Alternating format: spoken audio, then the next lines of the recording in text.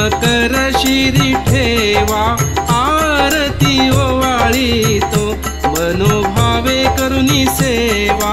जय जय श्री शनी देवा. सूर्य सुता शनी मूर्ती तुझी आगाध कीर्ती एक मुखे काय वर्णू शेषान चले स्फूर्ती. जय जय श्री शनी देवा. पूज्य विश्व चैतन्य अंधारातून प्रकाशाकडे घेऊन जाणारे महान संत आणि माझे सद्गुरू चैतन्य त्यागेश्वर महाराजांना आपण वंदन करूया. या कलियुगाचा राजा सत्याचा सागर सुरेसूत मी मी म्हणणाऱ्या पाचावर धारण करणारा. असत्याचा नाश करणारा आणि सत्याचा विजय करणारा. दंडनीयांना दंड देणारा आणि आदरणीयांचा आदर करणारा. असा धर्मप्रिय शिवप्रिय आणि तुम्हा आमचा आराध्य दैवत शनिदेवांना आपण प्रथम दंडवत नमस्कार करूया. आपण पाहत आहोत. प्रपंच करत असताना हा परमार्थ कसा असावा? आणि परमार्थ करत असताना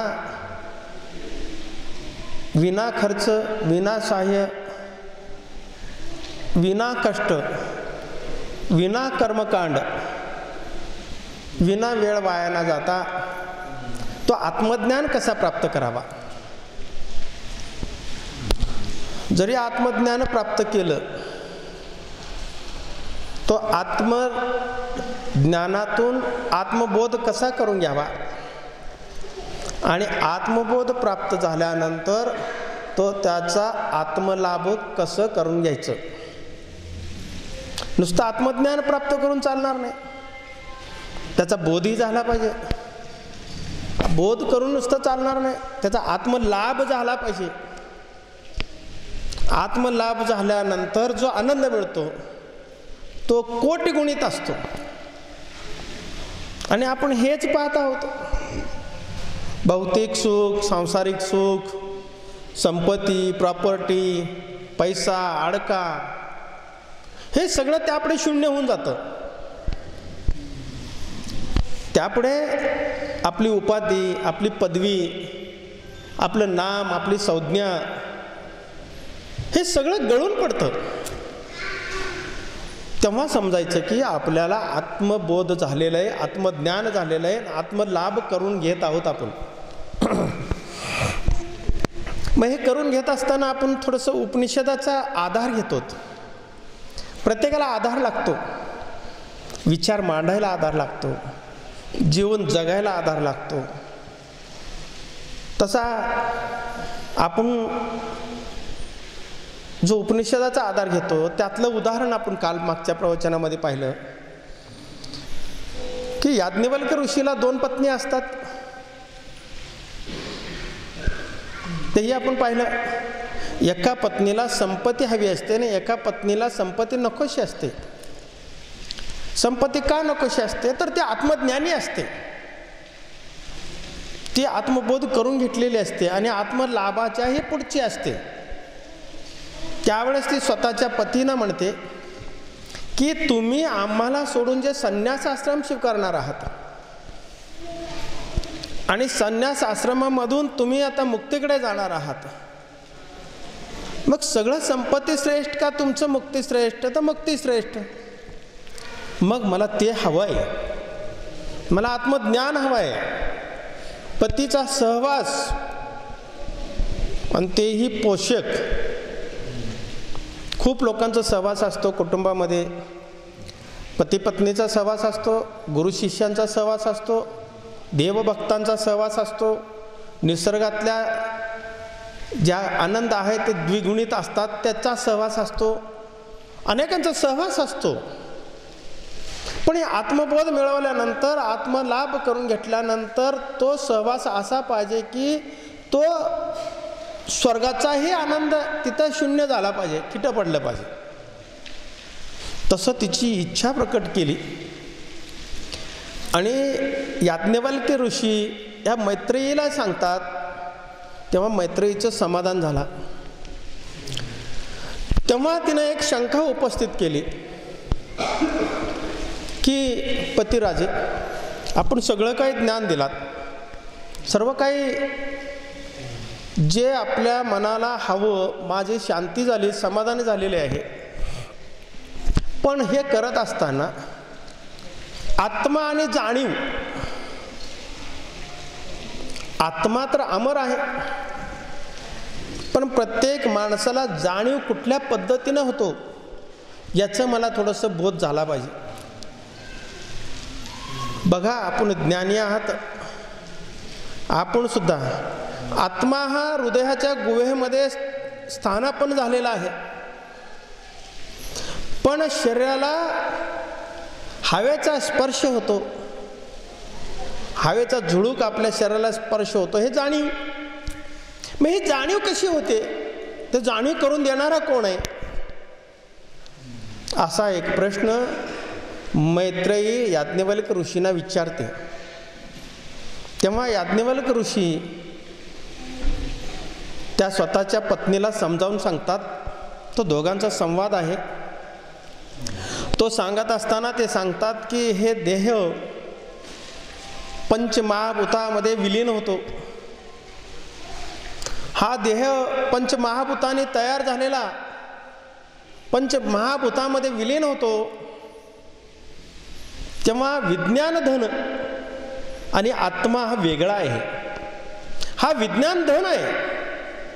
तर धन म्हणजे संपत्ती विज्ञान म्हणजे भौतिक यांनी दिलेलं धन आहे. हे विलीन झाल्यानंतर त्याचं स्वतःचं अस्तित्व संपतो तर लय पावतो. पण आत्मा हा अमर असल्यामुळं तो परमात्म्यामध्ये विलीन होतो. मग आत्मा यातनं निघून गेल्यानंतर आपल्याला जाणीव होते का? जाणीव होते? नाही होत. मग तो आत्मा वेगळा आहे विज्ञान धन वेगळा आहे. ह्या दुईतला जर आपण जर विचार केला तर आत्मा हा श्रेष्ठ आहे. मग आत्म्याला जाणणारा हा सर्वश्रेष्ठ असतो आणि तोच आत्मलाभ करून घेतो दुसरा कोणीही करून घेत नाही. हे याज्ञवल्क ऋषींना ऋषींनी स्वतःच्या पत्नीला मैत्रेला सांगितलं शरीर धने मोठं आहे शरीर हे पंचमहाभूतात विलीन झाला. हे विलीन झाल्यानंतर काहीच अस्तित्वात राहत नाही. मग तो जाणता करता जाणविता हा कोणीच अस्तित्वात राहत नाही. तेव्हा त्या मैत्रीचं समाधान झालं. आणि मैत्रीचं समाधान झाल्यानंतर ती सुखी झाली. सुखीचा अर्थ समाधानी. समाधानी याच्यासाठी म्हणतो मी की अनेक लोक अनेक मागतात देवाकडे. देवाकडे अपेक्षा असते इच्छा असते. साधना करत असतो आपण. साधना करत असताना मात्र आपण एकच मागत असतो जे नको तेच मागत असतो. म्हणून आपण आत्मज्ञानापर्यंत जात नाही आत्मज्ञान होत नाही आत्मबोध होत नाही आणि आत्मलाभ होत नाही. बरं आत्मलाभ झाला तरी तो पोषक पाहिजे. रावणाला सुद्धा आत्मबोध झाला होता. आत्मज्ञान प्राप्त झाला होता. आणि आत्मलाभ झाला होता. पण तो त्याचे आत्मलाभ जो झाला तो पोषक नव्हता. पोषक होता का रावणाचा? रावणाचा पोषक नव्हता. तो उन्मत होता. उन्नत नव्हता. मग आपण सुद्धा हे करत असताना आपल्याला जो आत्मज्ञान मिळालेला आहे तो कसा पाहिजे? पोषक. बघा पाणी. पोषक आहे. जर एखादी नदी वाहत असेल तर ते दोन्ही बाजूला हिरवं करून जाते. सगळ्यांचं कल्याण करत जाते. हे पोषक आहे. अग्नी. अग्निकुंड तुमच्या आमच्या हृदयपट्टी पोटामध्ये आहे अग्नीचं कुंड आहे. अग्निकुंड आहे म्हणून तुम्ही आम्ही आज आपण पोषक आहोत. तर पोषक नसतो आपण. चंद्र पोषक आहे. वायू पोषक आहे. सूर्याचे किरण पोषक आहेत. हे पोषक म्हणजे उपनिषदामध्ये ह्याला मधू म्हणलेलं आहे. हे सगळे पोचवणारे कण आहेत कण. आपल्या डोळ्याला दिसत नाहीत पण ते कण आहेत. ते कण जे आहेत ते तुम्हा आम्हाला हे सगळं पोषक देतात पोषक शरीराला पोषणपणा देत असतात. म्हणून त्याला मधू म्हणलेला आहे. तो आत्मज्ञानातलाही आत्मबोधातलाही आत्मलाभातला आहे जो मधू आहे मधू म्हणजे पोषक आहे तो पोषक आपल्याला मिळालं तर आपण योग्य ठिकाणी पोचू शकतो.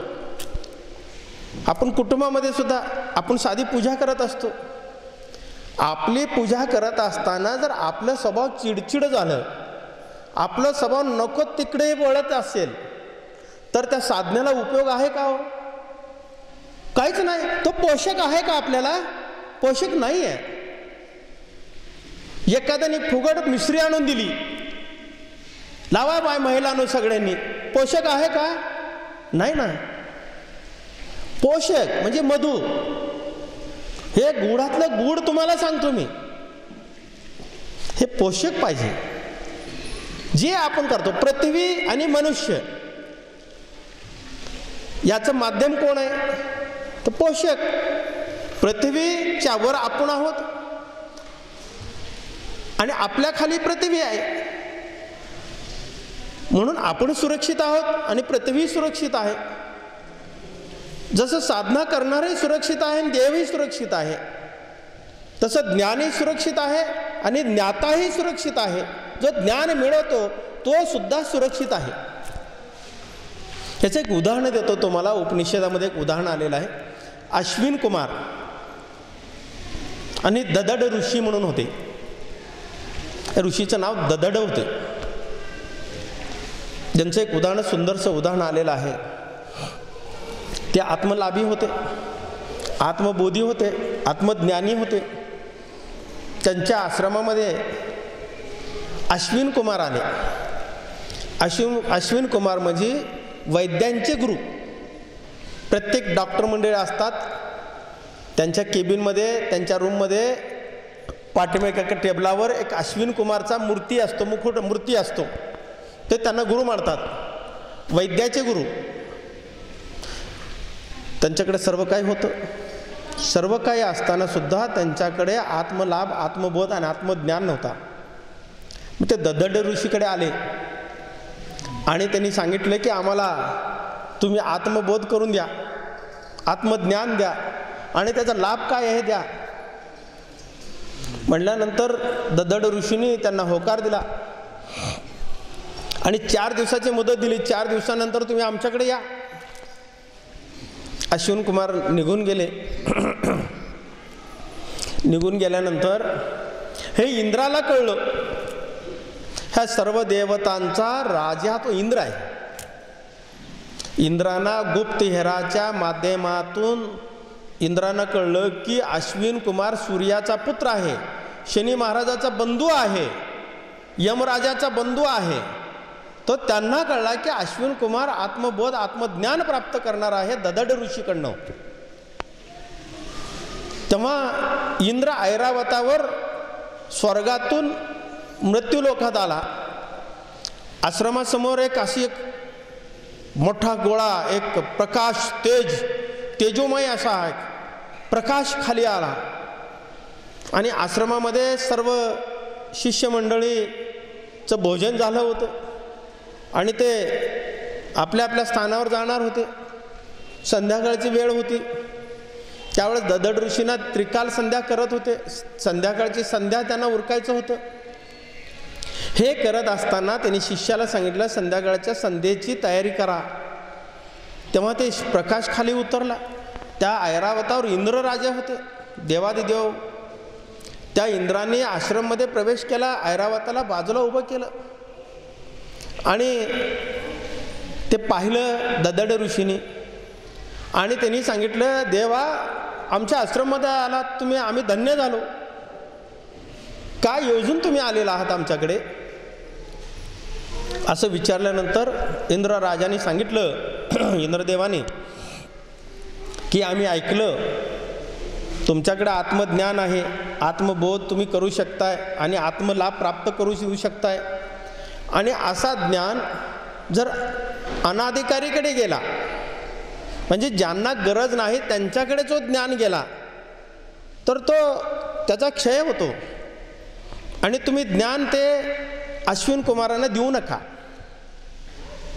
अश्विन कुमारांना दिलात तर देणाऱ्याचे आम्ही मुंडके उडवू. इंद्राजे बोलून गेले इंद्रराजे. इंद्राने बोलून निघून गेले. निघून गेल्यानंतर ददड ऋषी विचारात पडले. पण दिलेलं वचन पूर्वीचे लोक वचनाशी एकनिष्ठ राहायचे. अध्यात्म हे धर्मावर धर्मसुद्धा सत्यावर टिकलेला आहे. सत्य हे आधार आहे त्याला. आपल्या वचनाला सुद्धा सत्य हे आधार आहे. आणि सत्य हे धर्माचं मूळ आहे. मग त्यांनी अश्विन कुमार चार दिवसांनी आले. चार दिवसांनी आल्यानंतर त्यांनी अश्विन कुमारांना ददड ऋषीने सांगितलं की इंद्रदेव आले होते आणि त्यांनी सांगितले की तुम्हाला जर आत्मज्ञान दिला तर ते माझे मुंडके उडवणार आहेत. मग त्याला काय करायचं? तेव्हा अश्विन कुमार म्हणाले "हे किरकोळ आहे. काय म्हणाल अश्विन कुमार? हे किरकोळ आहे. ते आमच्या हातातलं आहे. आम्ही काय करू? तुमचं मुडखं कापू. गुरुजींना सांगतात ददड ऋषींना अश्विन कुमार सांगतो तुमचं मुडखं कापू. तुमचं मुडखं जंगलात लपवून ठेवू. आणि तुम्हाला घोड्याचं मुडखं आणू. आणि घोड्याचं मुडखं तुम्हाला रोपण करू सर्जरी करू. आणि जेव्हा आत्मज्ञान तुम्ही घोड्याच्या मुंडक्याने द्याल तर इंद्र घोड्याचं मुडखं का कापल. आणि तुमचं मुडखं मूळ मुडखं तुम्हाला बसवू. त्यावेळेस सुद्धा किती प्रगत होती. त्यावेळेस रोपण करण्याची क्रिया शस्त्रक्रिया सर्जरी हे किती स्वच्छ अगदी व्यवस्थित होता. म्हणजे त्यावेळेस सुद्धा महान होतेच ना? तेव्हा त्यांनी गुरुजींनी त्या शिष्यावर विश्वास ठेवला. आज कुठले गुरुजी शिष्यावर विश्वास ठेवतात मला नाही कळत.